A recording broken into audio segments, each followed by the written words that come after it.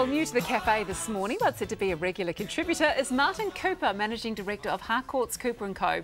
Martin's been in the real estate business since 1983 and done pretty much everything, including property management and auctioneering. Welcome, Martin. Thank you. Thank you for having us here in the cafe. Lovely to have you here. Now, there's been so much talk recently, well, for quite a while actually, about the unaffordability of owning a home, particularly in Auckland. What are your thoughts on this?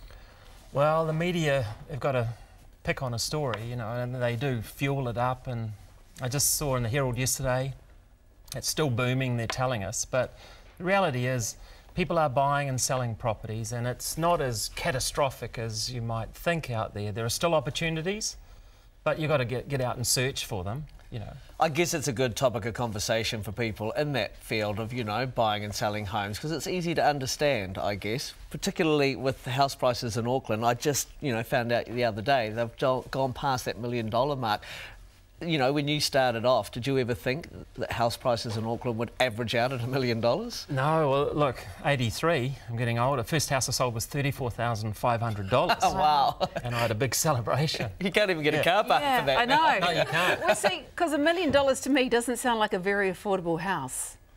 Well, a million, but it becomes relevant. I mean, the first I'm getting that first mortgage I got was forty-seven thousand dollars. I thought, when will I ever pay it off? You know, it's laughable now to think about that. I was thinking that's going to take me the rest of my life. Right. But um, our brokers now, average mortgage is six hundred and fifty to seven hundred thousand dollars for young couples buying properties.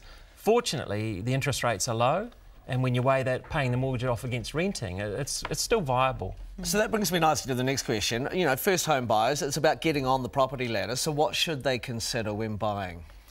Well, I notice a lot of young people that want everything now. You know, they want to live in the best suburb now. They want a fast track. That's just the way the world is. But you've got to start somewhere. Another thing, you've got to look at saving. You know, KiwiSaver is an awesome thing to get into when you're young. Put as much money as you can, and, and the, the secret of that is locked away. Because a lot of people have saving plans and think, oh, I'll get a new car. I'll get a boat. Bali's looking good at this time That's of year. That's the key thing. yeah. So life's about experiences. It's, right. it's about experiences. So you can buy those experiences. But if you want to get a home, you've got to commit to it. And maybe expect to live in a suburb that you might not necessarily that's, want to live in straight away. So yeah. where in Auckland then, are there still suburbs that are affordable for first home buyers? Well, uh, we sell predominantly on the North Shore. I'm noticing Beach Haven is a classic area. It's second-hand housing stock, 30 to 35 years old. People are moving out, buying a new home, they're transitioning. So there, there are some older houses that need refurbishment.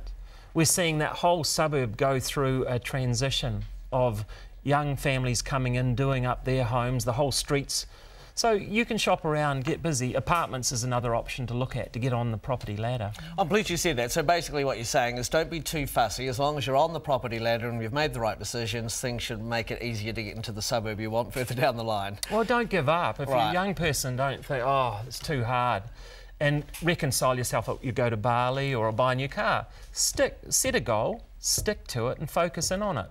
And there's going to be some sacrifices. You know, you can't be going out for dinner. I don't want to ruin all the restaurants in Auckland, you know, but you've, you've got to make some sacrifices nice. to get ahead. OK, no, fantastic advice, Martin. It is so nice to have you here on the cafe. We look forward to seeing you more and more, uh, telling us everything you know about the property market.